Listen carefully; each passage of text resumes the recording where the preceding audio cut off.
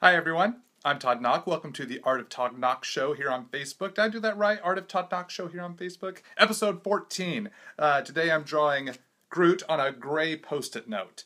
Uh, Groot from Guardians of the Galaxy. Groot has a starring role in the Deadpool miniseries I've been hyping this past summer.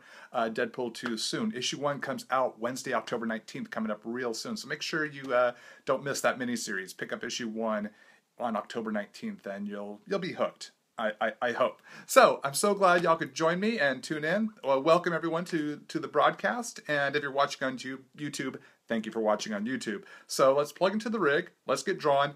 Feel free to post your questions. I'll do my best to answer uh, as I draw.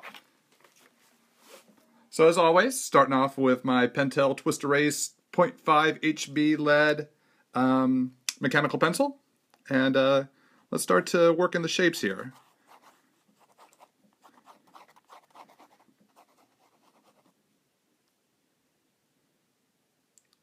Let's see. Am I going to be drawing any comics for Marvel or DC coming up? Uh, I'm, I'm uh, drawing Deadpool comics for Marvel. Uh, that's what I'm currently doing. Uh, my my my newest Deadpool series debuts this Wednesday, October 19th. Deadpool too soon. You want to make sure you pick that up.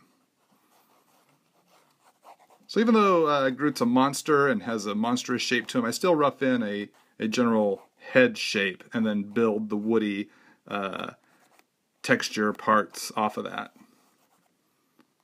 So it starts to take on the more monstrous shapes as we go. Big Groot or Baby Groot? This is Big Groot. Big Groot this time. Maybe I'll do a Baby Groot someday. I have drawn Baby Groot before at a comic book convention.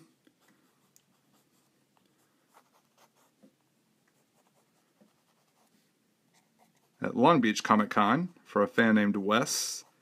He has my currently my only Baby Groot illustration I've done to date. Do I pick the uh, color of post-it note per character? Yes, the character I choose is often the the is oftentimes uh, affected by the the post-it note color I, I plan to draw on, or the I pick the post-it note color based on the character I plan to draw. So yes, there is a bit of a bit of connection there.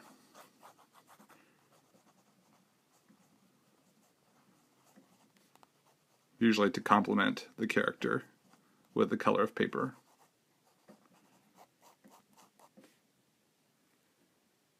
Comic or movie? This I'm drawing the uh, comic version of Groot here today. I've been doing drawing a lot of Groot here for Deadpool Too Soon, so um, definitely doing the comic version.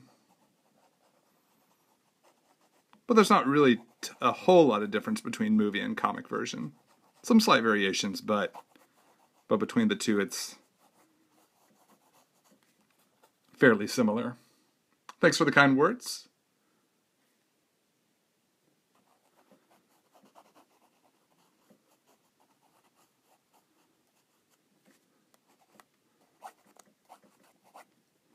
So just about got all all the the main shapes in here. A lot of this will be texturized in the ink stage.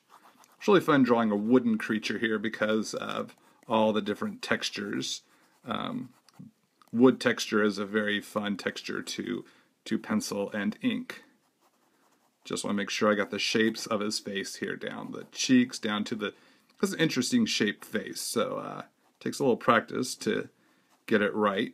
Um, but he is definitely a fun character to draw. Then some twigs sticking off of his back and the back of his head.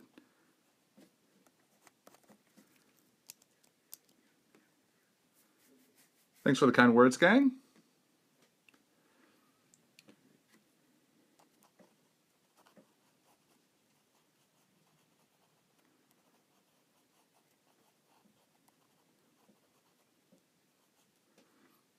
Who, in my opinion, is the most difficult to bring to life? I'm assuming you're referring to which character is most difficult to bring to life. And really, it's uh, starting off, any character is difficult to bring to life when I'm first learning how to draw them. Like when I first had learned how to draw Rocket and first learned how, how to draw Groot. I had to get used to drawing those shapes. That's why artists do character studies, so that we can get used to how to draw the character. And then from there, it's really just getting the, the, the, the correct sh- shapes down for the design of the character. So it's really not so much which character is most difficult. It's just every character has their own challenges. But with more with uh, study and practice, I, I start to develop the confidence in knowing how to capture their their life and personality. So now let's move to the ink stage here with the Micron 08. So I like to recess uh, Groot's eyes way into his head here. So there's a lot of uh, a lot of black that surrounds it because the eyes set way inside the the barky uh, texture of his uh, his face and brow. What's my favorite Marvel movie? I've been getting that question a lot lately. It's a great question. Thanks for asking it. Uh, and uh, my current answer of late has been uh, I like them all, or I like all the ones that I've seen. Um, I would say Guardians of the Galaxy might be my uh, current favorite. I really did enjoy uh, Civil War and I'm really looking forward to Doctor Strange coming up real soon. I'm a Sherlock fan, so I really like Benedict Cumberbatch, so I look forward to seeing how he portrays Doctor Strange. What is y'all's favorite Marvel movie? Oh, hello from Paris. Welcome, Paris. Welcome, everyone from around the world and here in the U.S. Hope everyone's having a great Saturday morning here on October 15th. 2016. Am I excited for the next Guardians movie? Yes, yes, I am. Very much so.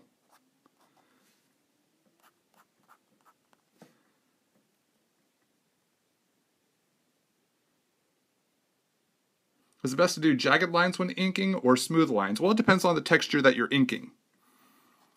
So I like to mix it up. I like jagged lines for certain textures, I like smooth lines for other textures. When we're coming to the inks, we are conveying not just the lines and shape, but the textures as well. So, so have lots of different textures in your inking arsenal. That will bring more life and believability to your the things you're inking. It gives gives the viewer more to look at and to to understand what they're seeing.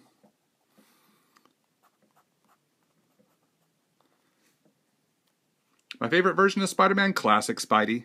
Is my favorite. Also like black costume Spidey.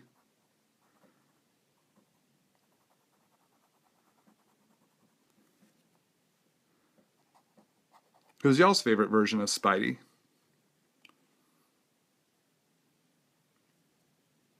Did I go to art school and where did I go? Yes, I went to the Art Institute of Dallas, studied commercial art and graphic design, and applied everything I learned there to drawing comics. They did not teach me anything about drawing comics. I had to apply what I was learning there to drawing comics. So, no matter where you go to school, you're going to get out of it what you put into it. So, uh, definitely am a proponent of getting some sort of schooling somewhere if your time and resources allow. But a lot of my art has come from self study, self practice on a regular basis. So even after you've graduated art school, if you have the opportunity to attend art school, you'll still be learning stuff. There's always something new to learn and master. Favorite Spidey villain? I would probably say uh, Venom, but uh, one of my favorites to draw is Sandman. But Spidey's got tons of great villains. I also like Green Goblin. I like Doc Ock. Um, I like Electro. I like the Shocker. I like Hydro Man.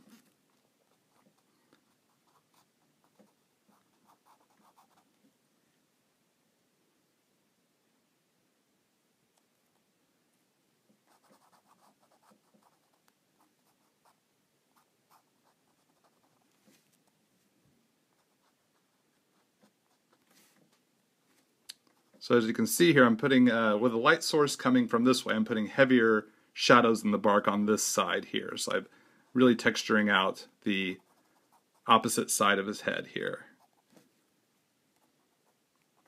These are where to help convey shadow. So you really get some shadows in those nooks and crannies of the bark there. And then the lines start to break up to lighter as we move away. Or move towards the, the more light lit area, I should say. So keeping in mind the striations of a human neck, I utilize the same principles with a tree monster neck, but just use very um, textured lines, again, to convey that bark-like feeling. But we want those striations of of wood textures coming in here to help. Give him volume, make him look monstrous. Putting twigs off the back of his neck and shoulders here.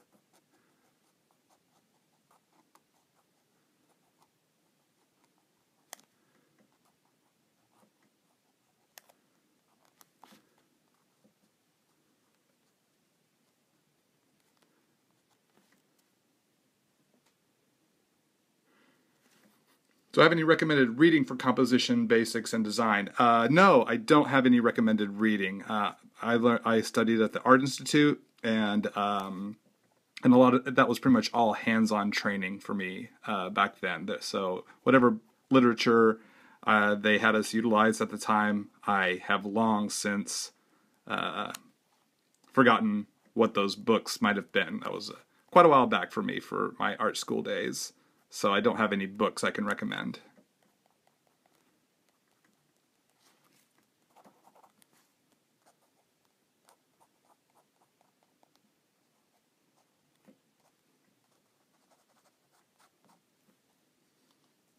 Why the 08 micron? I just it's just I just prefer the uh, the line that it gives.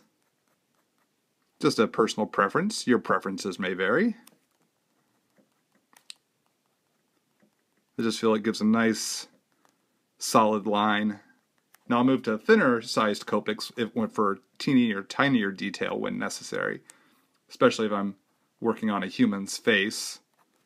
Uh, I utilize the 01 and the 005 pretty frequently.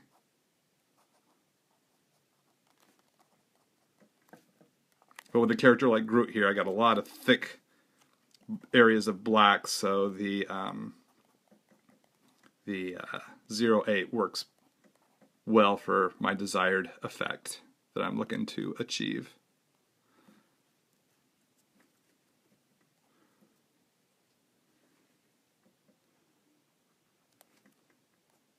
Tips for breaking into the comic book industry.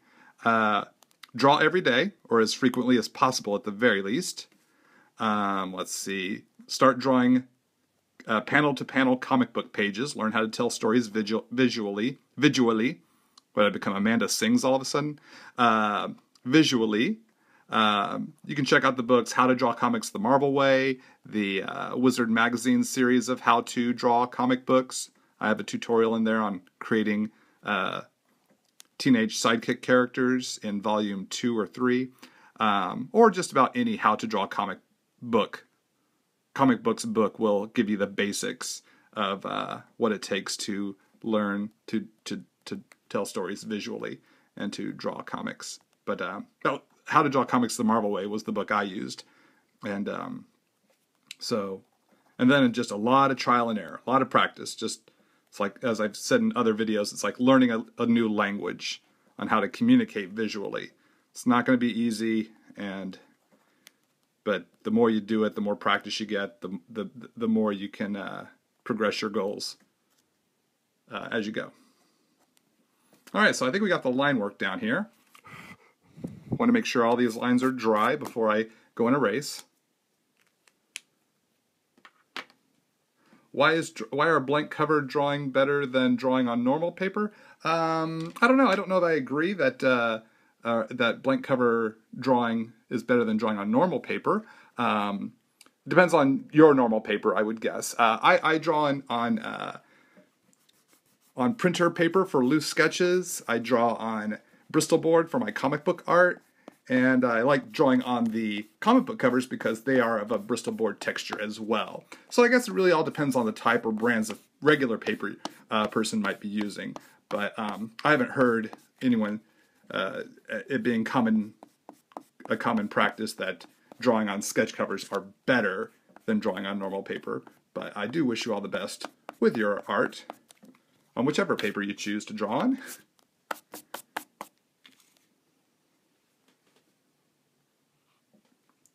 So what am I trying to tell you? That you can dodge bullets?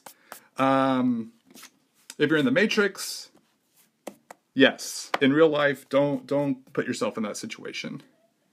That's just that's just not a good idea. All right, so we got the uh, the inks or the erasing done. So let's move into the browns. I'm going to be utilizing a lot of different browns here and some gray tones for for Groot. So uh, let's start with the E25.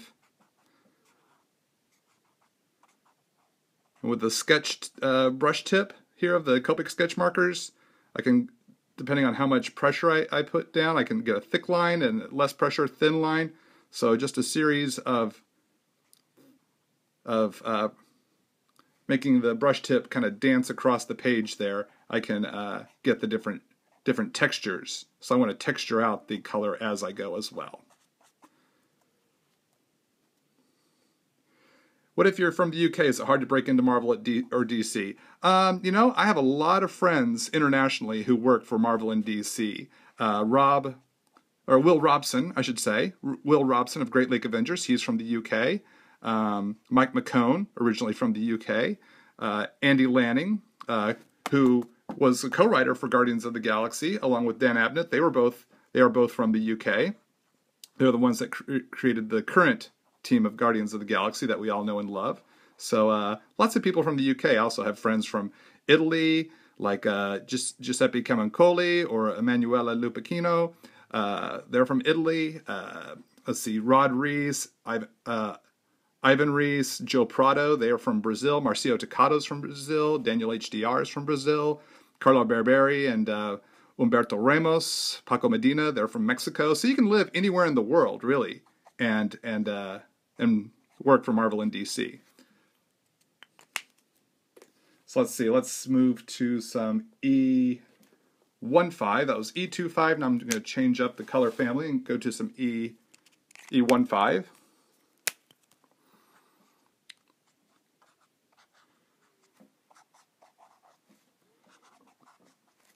And um, let's kick it to E13.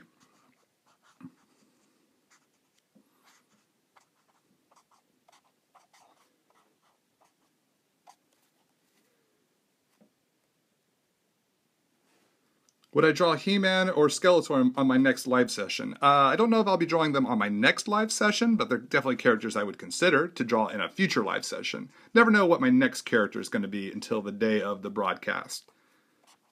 Sometimes I even surprise myself. Let's see. But thank you for the suggestion. Thank you for everyone's suggestions. I get a lot of character suggestions. I do appreciate it. I do uh, take note of them. Uh, I just can't promise if or when I'll draw certain characters, but I definitely appreciate everyone's suggestions and comments for sure. So a little E31 here, a lighter shade of brown.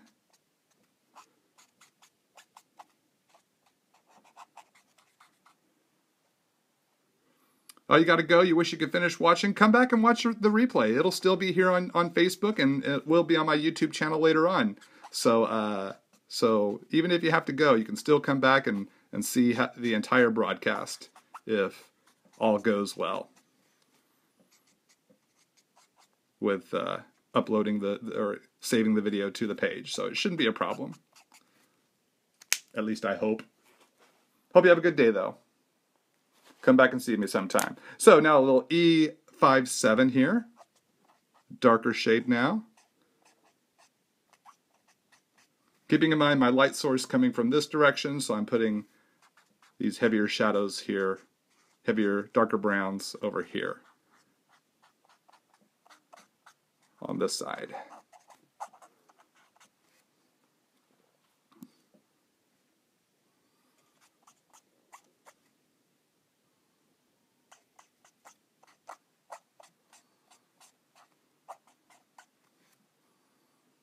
Would I do a Galactus? Uh, possibly. Possibly. No plans to at the in the Im immediate future, but you never know. Don't really care for drawing Galactus as a convention commission, but I do don't mind drawing him here in the studio.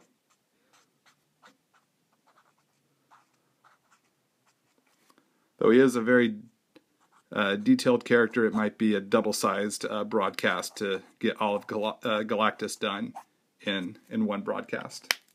All right, so I got my browns in and done. Um, let's work in some gray tones. Got my grayscale markers here. Let's start with a little uh, warm gray, warm gray 5. Going to utilize different shades of gray here. So right now I'm going to come in with some warm gray 5.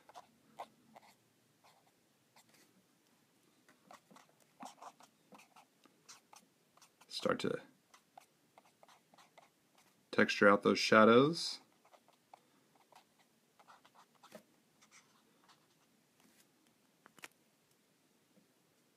Do I remember when I realized this was something I could do for the rest of my life?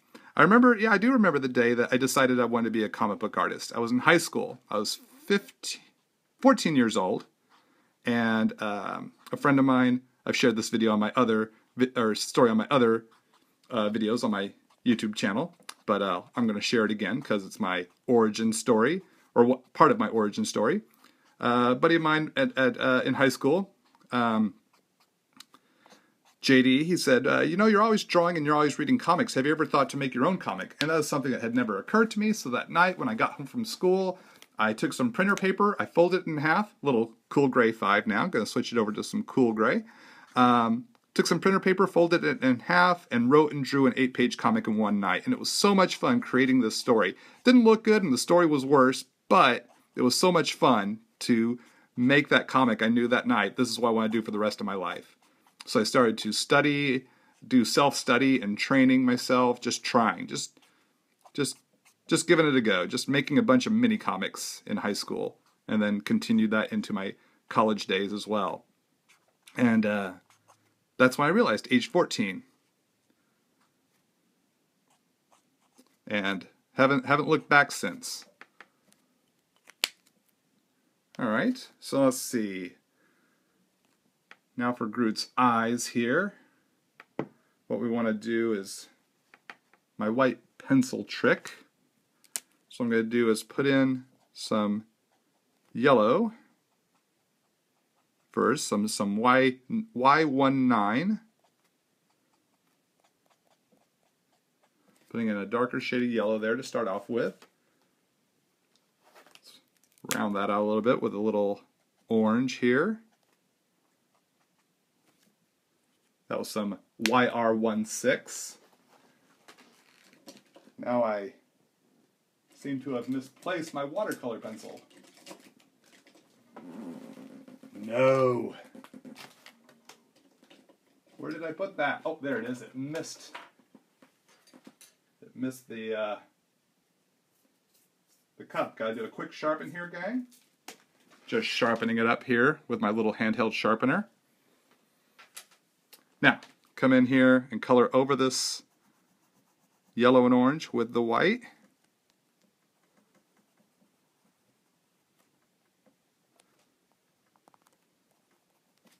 Just a little bit like that.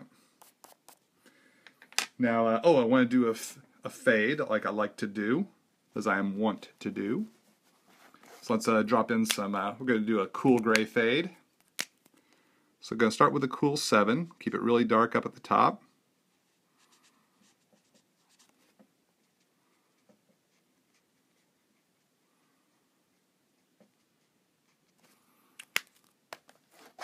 Going to do odd number fade, so going to kick it to the cool gray 5.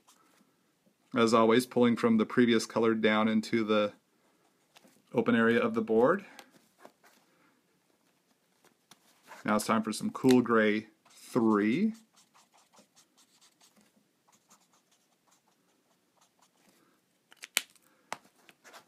And then finishing it off with some cool gray 1.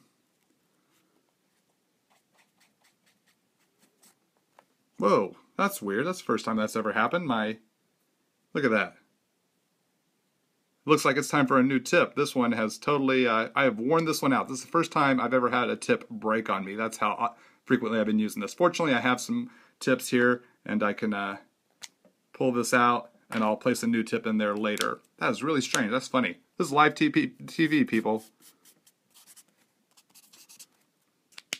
As always, I'm working without Annette because Annette never chooses to come into the studio. She's always taking the day off. So some cool gray zero there. That was really strange. Save that for the blooper reel. All right. What types of materials do I suggest for someone uh, starting the basics of comic making? Uh, pencil and some Bristol board. They have pre-ruled comic book Bristol board. Start to learn how to draw at 11 by 7, 10 by 15 size on 11 by 17 Bristol board, and um, and then just at, at, least a pencil. Become a do a pencil artwork, and um, and then you can add inks if you want. Comics are colored mostly digitally, so you don't need to buy a bunch of Copic markers if you don't need to. Uh, these are I utilize for other types of illustrations or commission pieces, but uh, most comics are colored digitally. So um, so if you're starting out, just some. That's how I started out, at least. Just some uh, Bristol board and a pencil. Make sure you have a ruler and a T, a T square triangle. Um, so you can draw buildings straight. So now my Uniball Signo white gel pen here for the uh, outline that I like to do on my colored post-it note illustrations.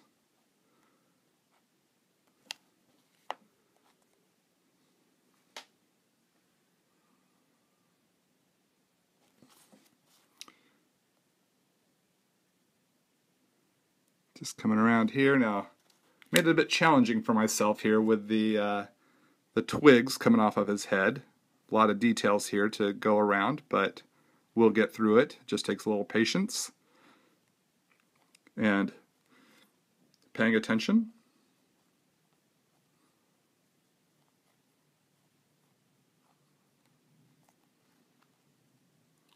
You got here too late? Ah, never too late. Glad you're here now. And you can always go back and re- watch the replay of this broadcast here on my Facebook page. And if you're watching on YouTube, of course, you can watch anytime on YouTube or on Facebook. And you can see the whole thing in its entirety. All right. That wasn't as time consuming as I feared. Let's put a little uh, highlight here in his eye there. Just really pop that highlight out. Put a little bit of this uh, white pencil through the uh, through here just kind of give a little more texture little little light hitting the bark here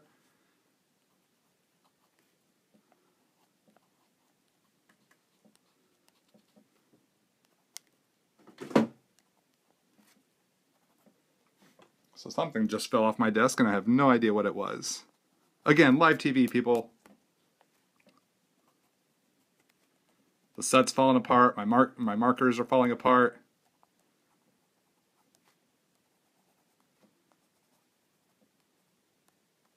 All right, there we go.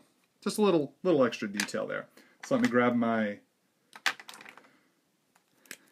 Copic or my Pigment Micron here and add my name to it here.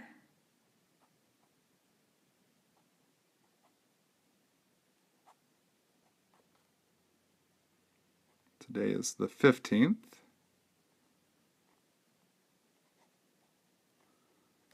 And there we go. There's Groot. Groot, there he is. All right, gang. I'm going to flip around here, take a few questions, because I know I missed a lot of questions, and um, and we'll start to wrap up the show. Huh, got a little little streak of white there I didn't want. Nice thing about the, the pencil is that you can just wipe it right off. So here we go. Let's flip around. My glasses back on. Hey, hey, how's it going, everybody? So let's see. Uh, do I need to turn? There we go.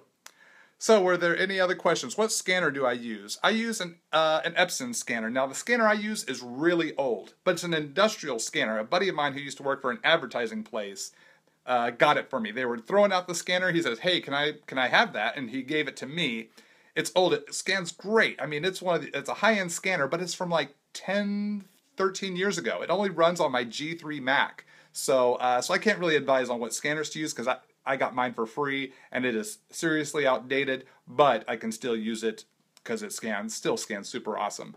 Uh, do I ever use cardstock for pictures? Uh, sometimes, yes, sometimes I do. Um, thanks for all the kind words, gang. I appreciate that. Do I use the colored Copic fine liners? Uh, yes, yes, sometimes I do. I do. Uh, the multi-liners, different colors, blue, red, brown. Yeah, sometimes I do for different effects, especially if I'm doing a watercolor piece. Uh, I like to use different colored uh, um, multi-liners for, for, for the inking stage and then color over that. It creates a really fun, fun effect. Gang, I want to say thank you so, so much for tuning in. It's always awesome to see y'all, always fun to hang out. Thanks for joining me for this broadcast. Thanks for watching here on Facebook. And if you're watching on YouTube, thanks for watching on YouTube. Be sure to like my Art of Todd Nauck page, Art of Todd Nauck page. Easy for me to say, Art of Todd Nauck page. Go ahead and just give that a like and um, uh, make sure you set up the subscription so you, you, get the updates in your feed so you don't miss any future broadcasts. And if you're watching on YouTube, please feel free to subscribe so you don't miss out on future uploads as well. Uh, gang, I hope y'all uh, have a great day, and I hope to see y'all again real soon. And be sure to stick around. I'll be posting the uh, photo of this image on my all my social media. Um, so be sure you follow me at Todd Nauck, Twitter, Instagram, all those places, um, so that you don't miss any art. Uh, thanks again, gang, and I'll see y'all again real soon. All the best. Bye bye.